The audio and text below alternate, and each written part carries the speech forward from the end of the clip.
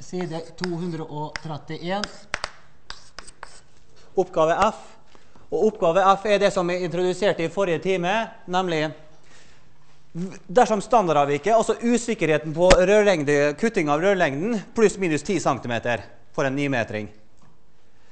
Hvor mye må den justeres for at sannsynligheten for at vi skal få en for kort totallengde eller for lang totallengde, skal ikke bli 16% som vi kom fram til her i forrige time, men derimot blir så liten som 1%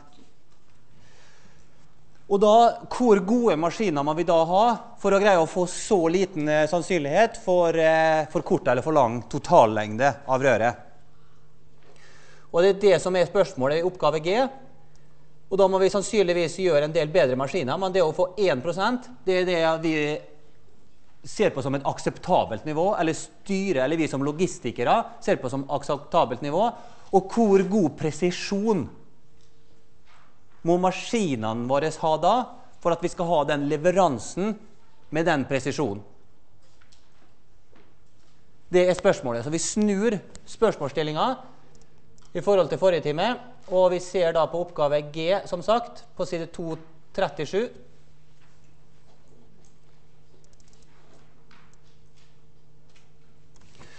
Og da er altså sannsynligheten for for, lang eller, for kort eller for lang P av for kort eller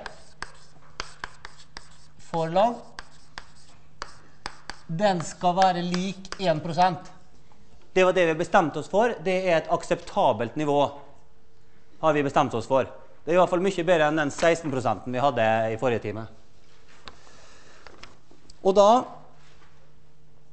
er det akkurat som før, nemlig at da er for kort er jo samme som x tot er mindre enn 11 245.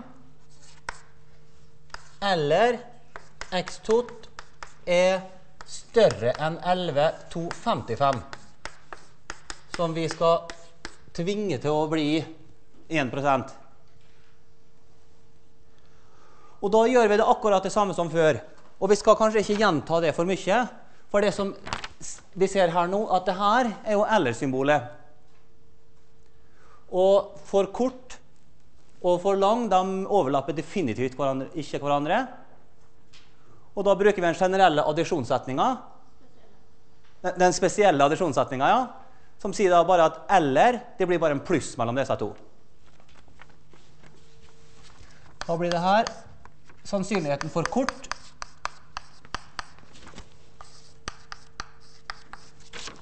Eller, som blir pluss sannsynligheten for lang.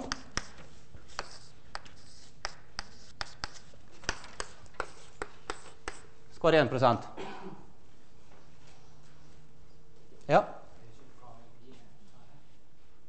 Eh, oppgave G, dette kanskje? ja. Det er oppgave G, ja. Bra.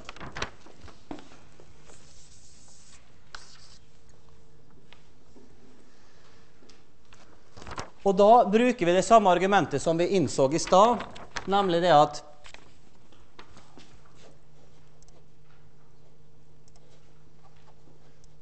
Av disse to røde arealene der, de er like av symmetrigrunner. Så av symmetri PGA-symmetri Så blir da det her det samme som to ganger P av x total er mindre enn 11,245 skal være lik 0,01.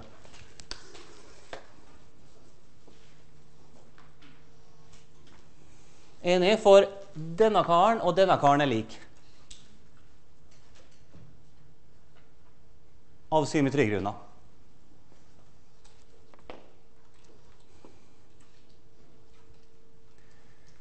Ok, Men det som nå skjer, nå må vi standardisere. For nå er vi i X-verden og vil komme i Z-verden, og da prøver vi på det. 2 ganger P av. Og da får vi eh, X total minus forventninga til X total delt på sigma total. som er lik variansen til 1250 ganger sigma i andre. Det var det vi skrev opp i forrige time. I begynnelsen av forrige time. Er mindre eller lik 11245 minus E total EX total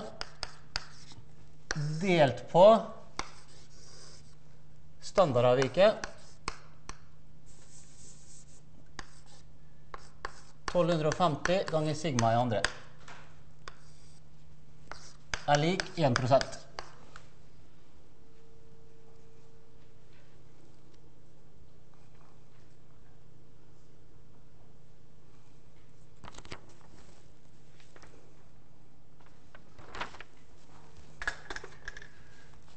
Ok, Så på venstre sida gjør vi som vi sa. Dette er jo ikke en sett total.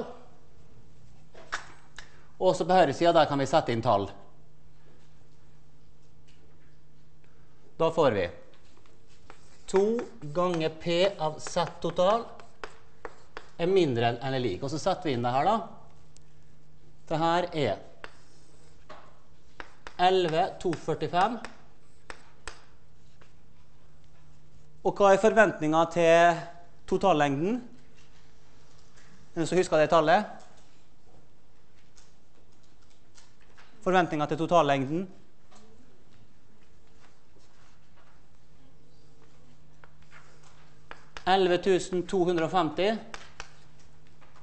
Det var forventninga til totallengden. Får huske det. Jeg skal bare kladde litt på sida. X total, det er lik 1250 ganger forventninga til hver enkelt. Og den der er jo 9, så det er 250 ganger 9 meter. Og 1250 ganger 9 meter er 11,250 meter. Så forvent, forventningsverdien til det der er det riktige. Men det behøver ikke å bety at vi akkurat lander på det der.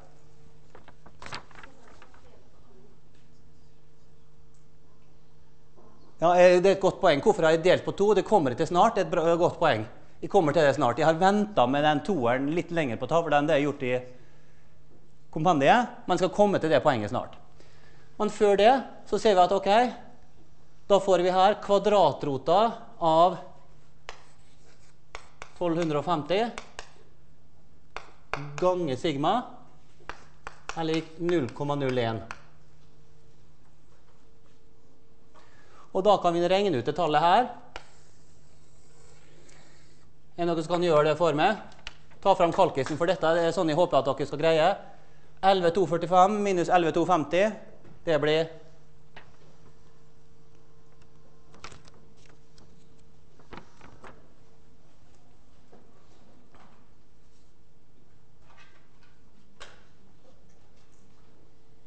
Det er viktig at sånne ting ikke stopper opp eh, på, eks, eksamen eller på øvingene. Det her blir 11,245 minus 11,250. Det er jo minus 5 delt på kvadratruta av 1250. Det blir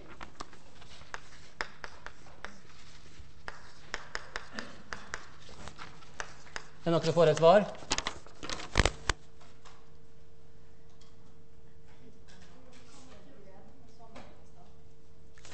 Det er 1,141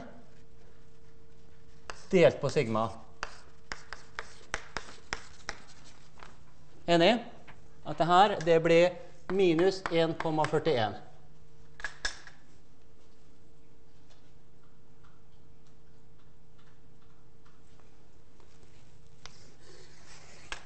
Enig? Men det er denne vi skal finne, ikke sant?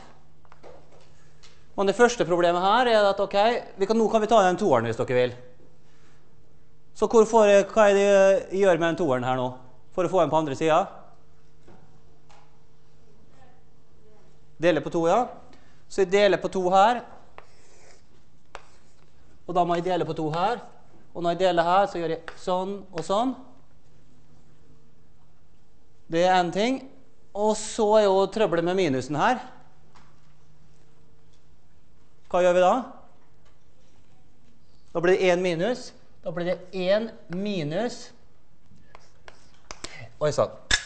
P av Z total er mindre eller lik Det positive altså 1,41 delt på sigma er lik 0,01 halve. Ja. Når jeg slår inn det, så får jeg 0,41, ikke 1,41. Er det som gjør en feil? Eller er det 0,14? Ja, 0,14, ja, unnskyld. 0,14, ja. Kanskje jeg har skrevet en feil her. Ja, det er jeg som har, sk- det jeg som har skrevet en feil. Det er helt rett. Bra. Det er bra. Det er minus 0,14. Det er helt rett. 0,14, og så tror du det blir 1,4 en gang til, da. Sånn.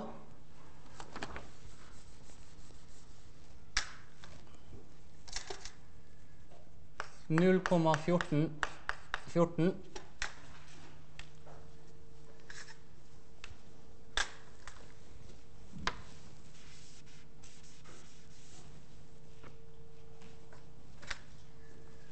Null komma fjorten fjorten.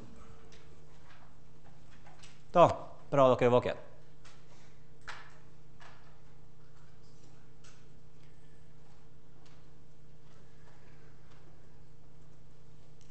Og det vi jo nå gjør, nå vil vi ta tallene på eh, ene sida. Hvis vi flytter den, hele den karen her over dit, og så flytter vi han over dit, så får vi 1 minus 0,01 halve, eller P av Z tot, er mindre eller lik 0,14 delt på sigma.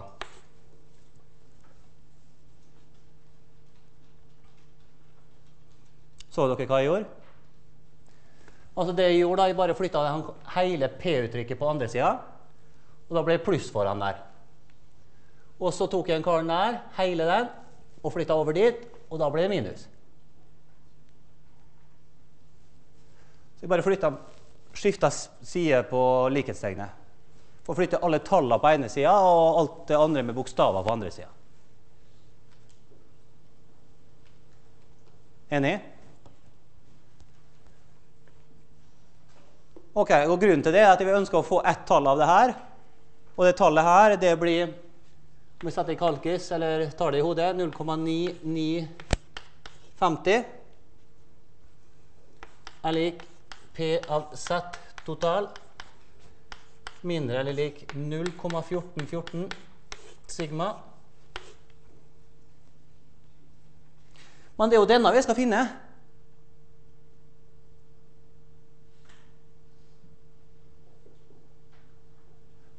Og det er denne vi veit. Så dette her blir egentlig et omvendt tabelloppslag. Fordi at vi veit resultatet av sannsynligheten.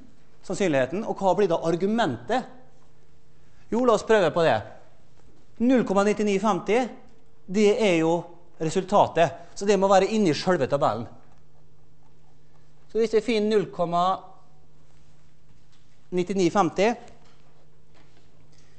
0,9950 må vi se i tabellen. 0,99, 30, 40 Der, hvis vi slår opp der,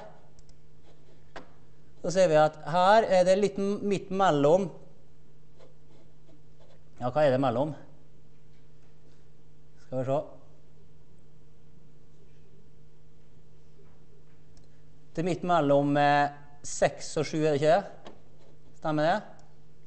Oi sann. Der gikk det fort.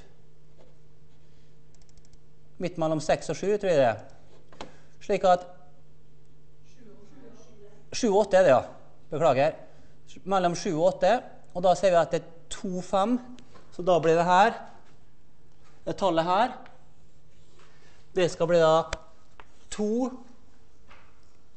5 2,5 Og så er det midt imellom 7 og 8, 2,5 her.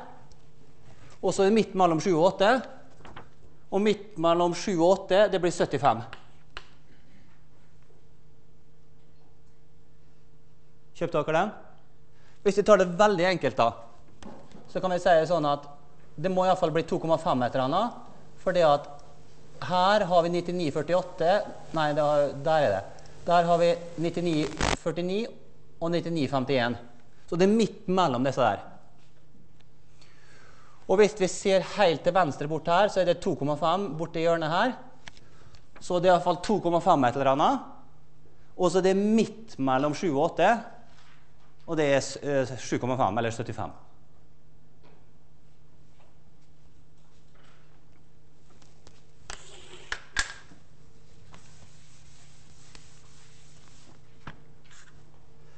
Men det betyr at vi vet at denne karen må være 2,5 ved omvendt tabelloppslag.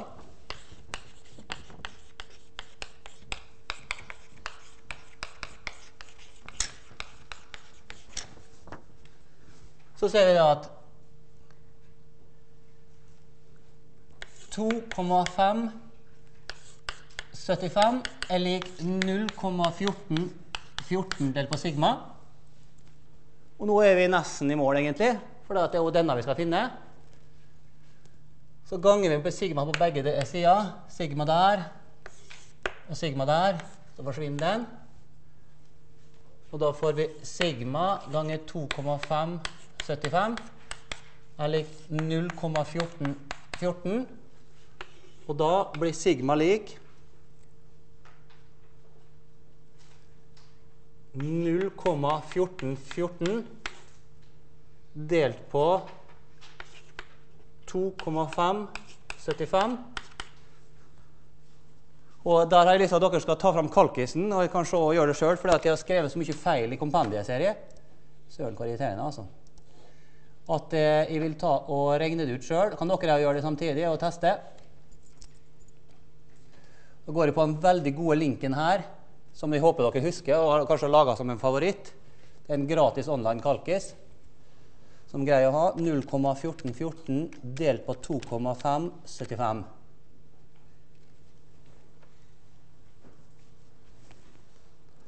Og det blir det tallet der. Kan bare få jobbe litt. grann.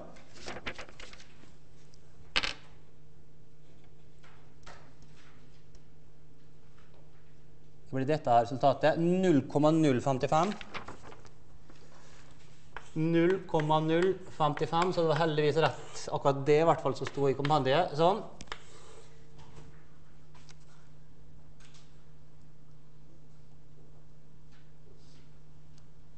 Som det her. Og det er i meter.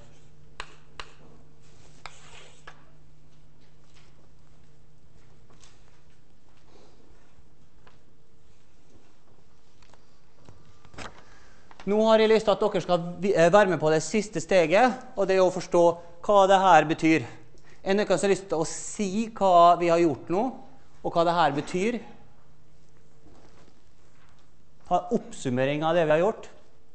Gangen i det? Hva er det vi har regna på nå? Hva er det vi har kommet frem til, og hva er konklusjonen? Og hva er kravet vårt? Utgangspunktet.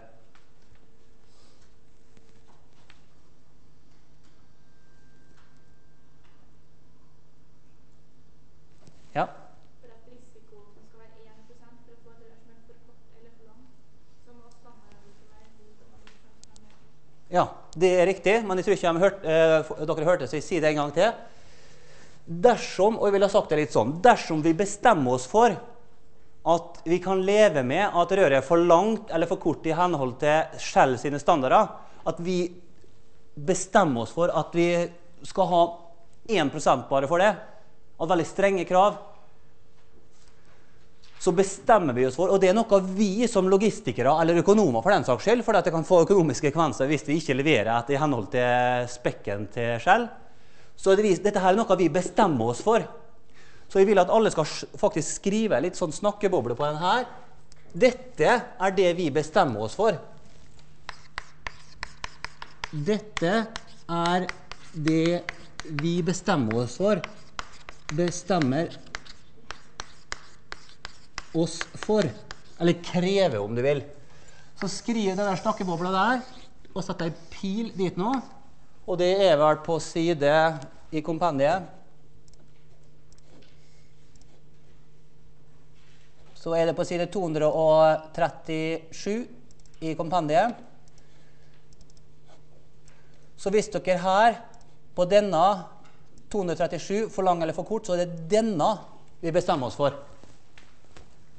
Dette er et valg fra vår side som logistikere og som økonomer.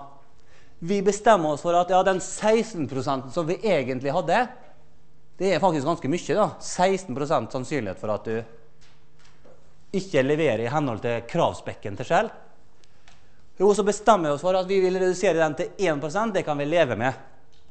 Og hvilke konsekvenser gjør det i forhold til presisjonen på våre eh, rørmaskiner?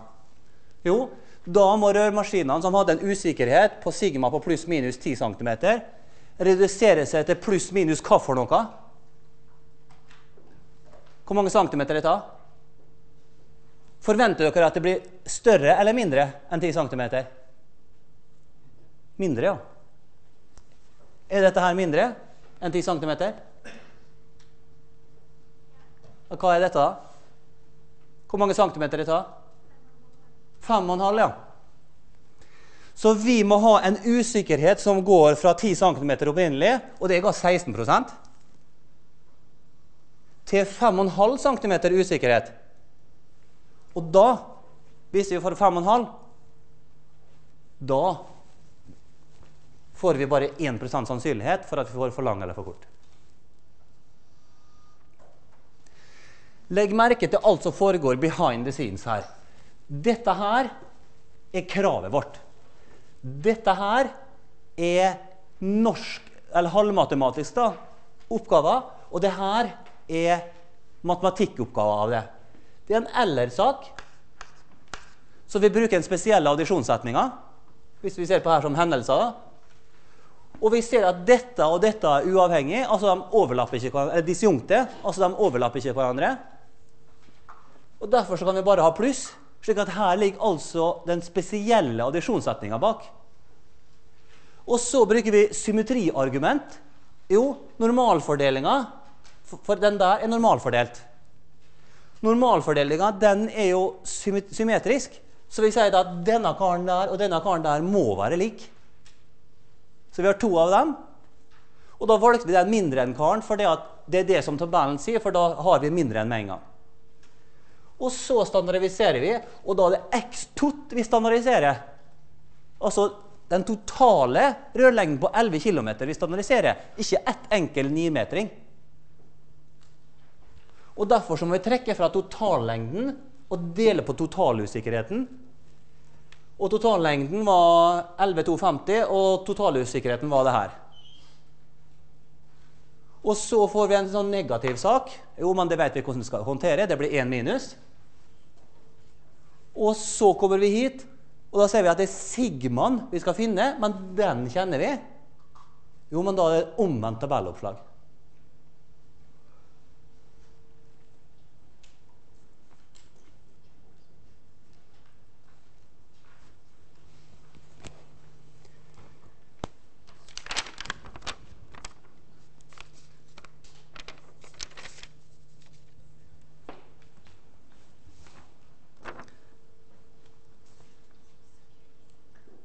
Ser dere nytten av det her?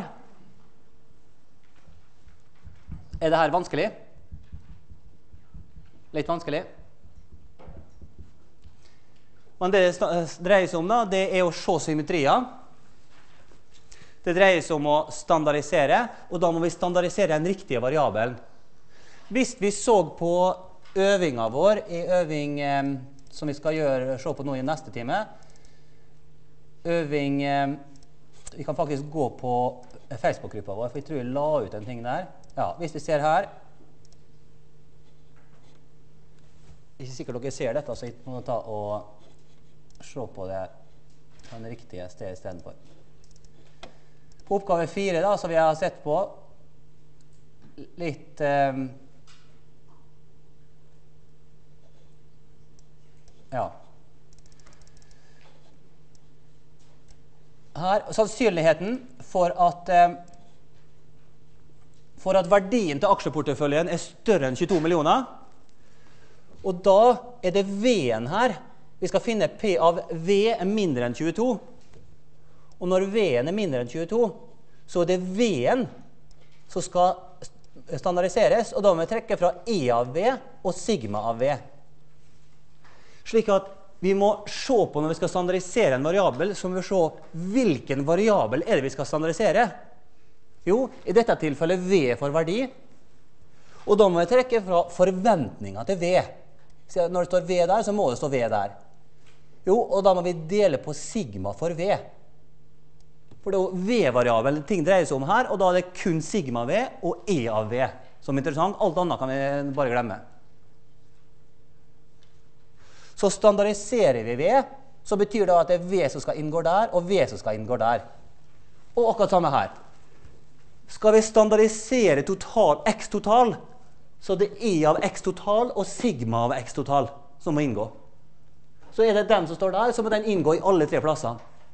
Vi kan ikke blande helt forskjellige variabler da.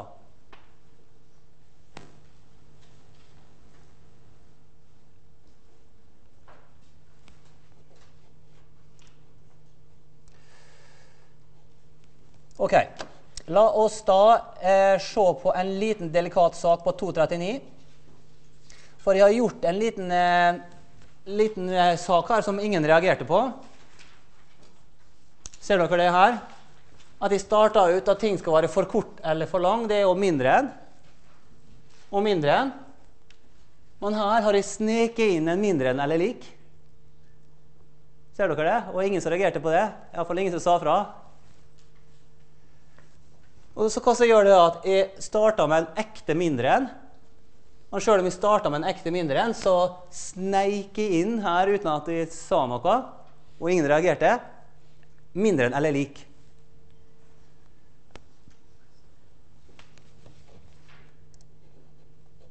Og det her er en stor forskjell på det her med diskré kontra kontinuerlig sannsynlighetsfordeling. For hvis vi ser på en diskré, og her står det disk så står vi altså på side 200 og hva er det? 239. Alle slår på side 239 i kompendiet.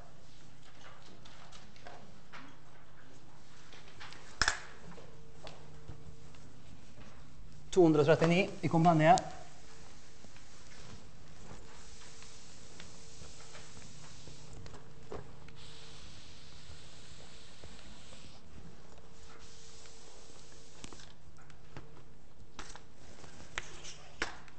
Da ser vi det at x er mindre enn lik 2. Kjøper dere at det er samme som 1 minus x er større enn lik 3? For hvis vi ser på det i, ei, i en sammenheng her, så ser vi det at Skal vi se Så var det jeg hadde den 7, 5, 3. Disk VS kont. Og da ser jeg at hvis vi har her ei tallinje som ser sånn ut, som er 0, 1, 2, 3, 4, og så har vi her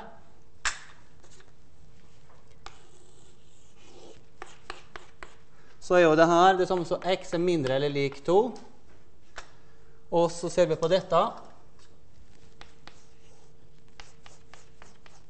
Så her er jo x-en større eller lik 3. Så for et diskré tilfelle så har vi da at p av x er mindre eller lik 2 pluss p av x er større eller lik 3. Det må være lik hva for noe?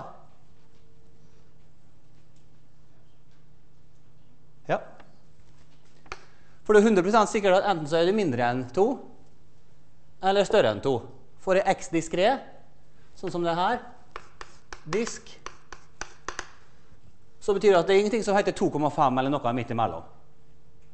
Slik at dette her er hele sannsynlighetsrommet. Det er ikke noe som mangler her. Enig? Slik at når det står 2 der, Og så legg merke til at det står større enn eller lik og mindre enn eller lik. Så gjør vi det tilsvarende for kontinuerlig.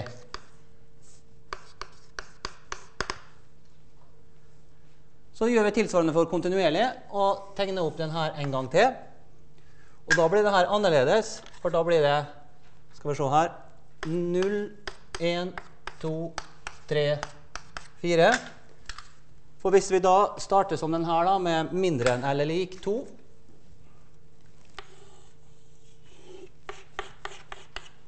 X er mindre eller lik 2. Men hvis du da Hvis vi ser her at her kan det jo være 2,1 2,0001 osv. Så, så her går det an å være sånn. Så her er x-en større eller lik 2.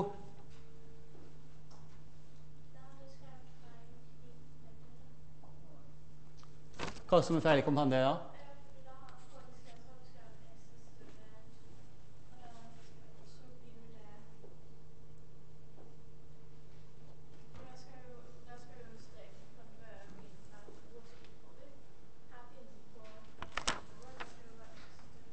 Men dette er diskré. La oss stå på den blå først. Den blå er, Vi er alle enige om at x er mindre lik 2. Den er, den er riktig. sant? Den er riktig. Og så ser vi på denne. Her står det x er større enn lik 3. Ja, Er det samme tingen, eller? Ja, det er samme tingen, det. For diskré, tilfelle. Det er samme tingen som jeg kunne ha skrevet her, bare x er ekte større enn 2. Det betyr at 2 får ikke lov å være med her. Men her betyr det at siden det er større enn eller lik, så får treeren være med. Så i diskré sammenheng så er ekte større enn 2 samme som x er større enn eller lik 3.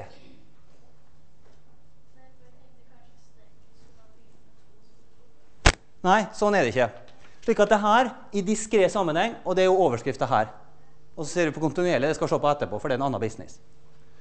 Når vi har diskré, så ser vi det at da er dette her samme tingen. Altså x ekte større enn 2 er det samme som at x er større eller lik 3 når 3-en får lov å være med. For her får ikke 2-en være med. Da må vi ha neste tallet. Og hva er det neste tallet etter 2? Jo, det er 3. Men her er businessen annerledes i det kontinuerlige tilfellet. For her er jo sånn at det røde kan være større eller lik 2, så det kan være til og med 2. Men x er større eller lik 2 da, her nå. Da spør jeg spørsmålet hvorfor har jeg ikke jeg dobbelttelling her? Altså, Du har med toeren både der og der. Har ikke da ei dobbelttelling?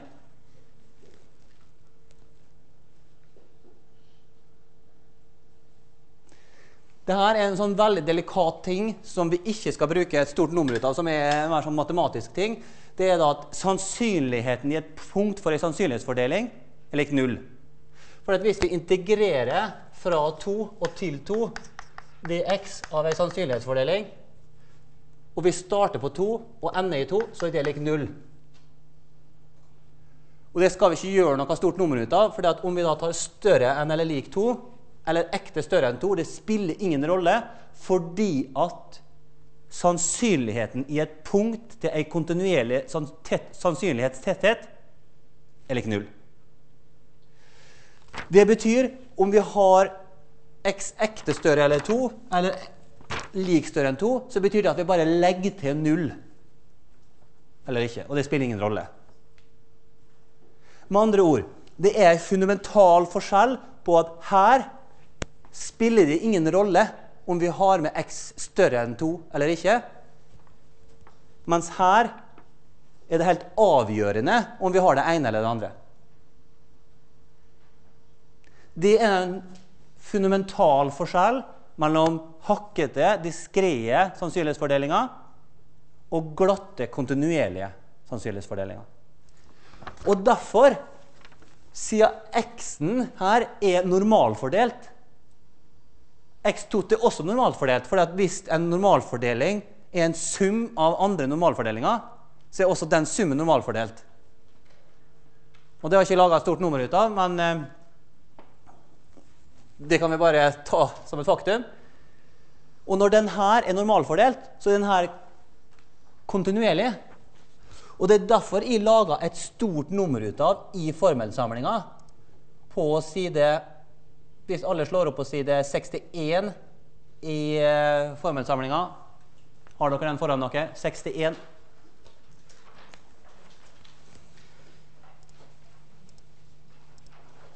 Sekstien i formelsamlinga.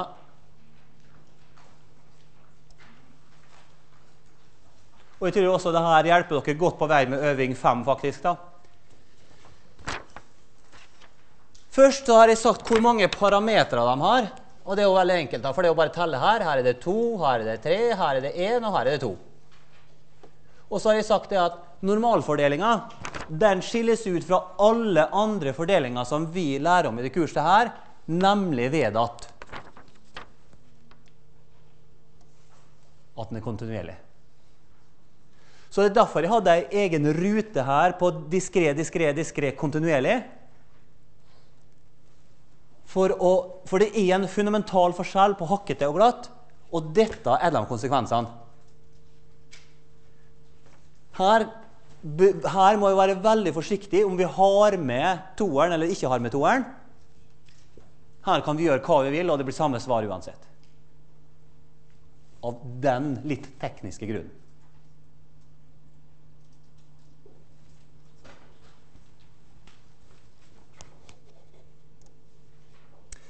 Så har jeg lyst til at dere skal slå opp på side 240 i kompendiet.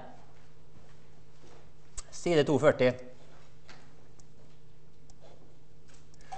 Og på side 240, der er nederst på den sida, så er det en figur, og den figuren den ser sånn ut.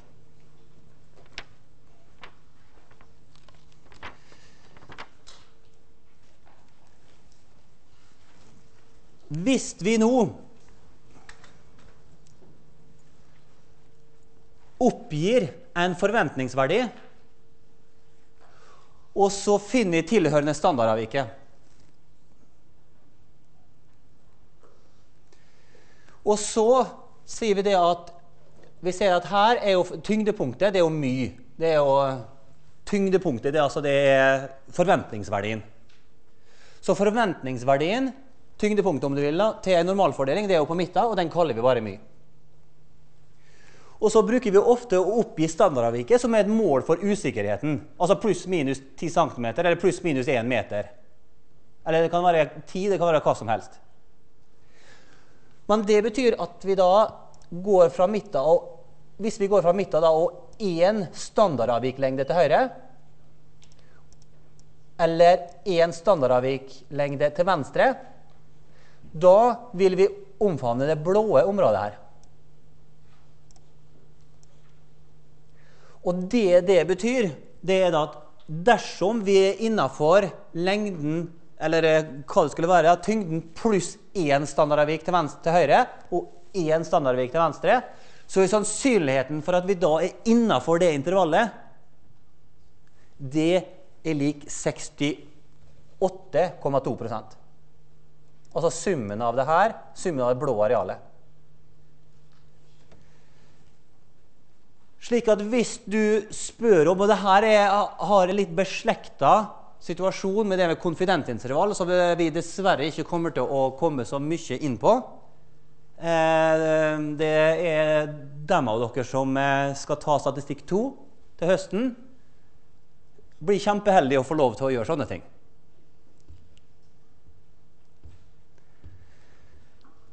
Og det er da ting begynner å bli enda mer interessant enn det vi har gjort. Eh, men derfor har jeg lyst til å gjøre lite nummer av dette her, for dette her er en liten introduksjon til det her med konfidensintervall. Iallfall en beslekta sak, nemlig at hvis vi Når vi har funnet standardavviket, og vi går et, en standardavvikelengde til hver side i forhold til midten, da er det 70 68% sannsynlighet for at vi ligger innafor tyngdepunktet pluss minus én standardavviklengde.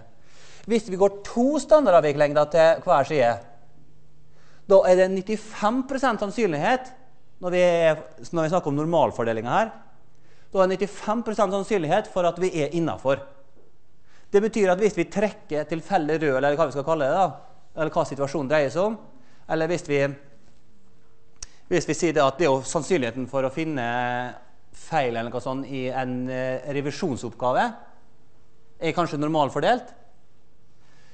Og hvis vi da finner tilhørende standardavviket, så ser vi da at ok, hvis vi går to standardavvik til sida, og det er jo ganske stor slingringsmonn, da, da er vi 95,4% sikkert for at vi er innafor.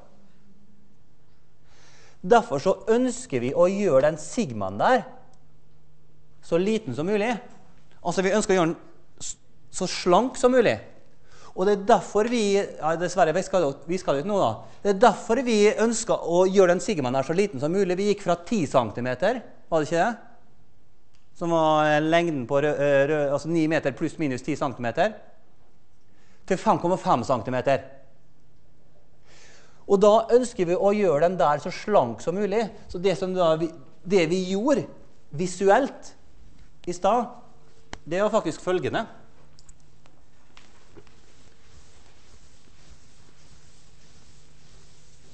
Det er at Hvis vi hadde en sannsynlighetsfordeling sånn, og nå er jeg i x-verden f av x og x, og så x her og så her er vi 9 meter, og så her har vi 10 meter, og der har vi 8 meter. og, og sånne ting. Ja, den her er kanskje litt lenger bortover, da.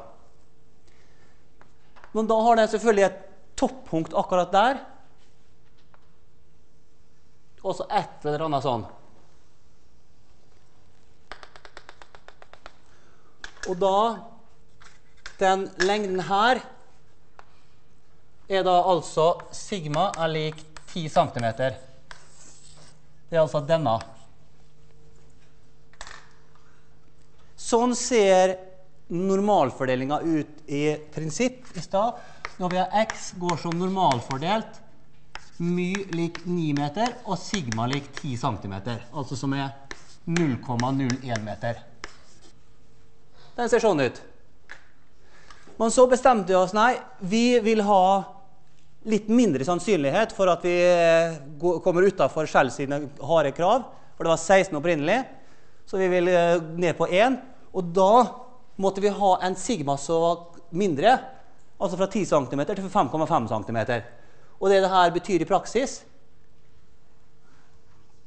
det er at vi da fikk en sånn mye slankere versjon som dette. Der denne lengden her er nå sigma lik 5,5 cm.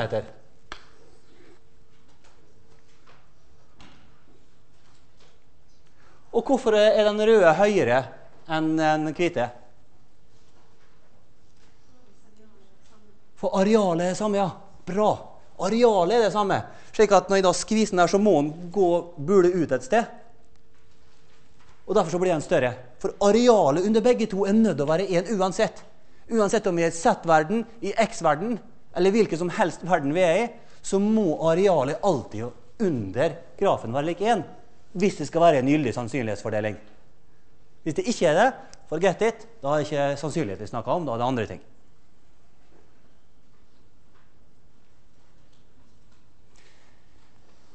Ok, Neste time så er det øving. Eh, jeg må i et møte. Så jeg blir her bare delvis i neste time. Men bli her og gjør eh, øvinga sammen med delvis da, og Galina, så skal vi hjelpe dere.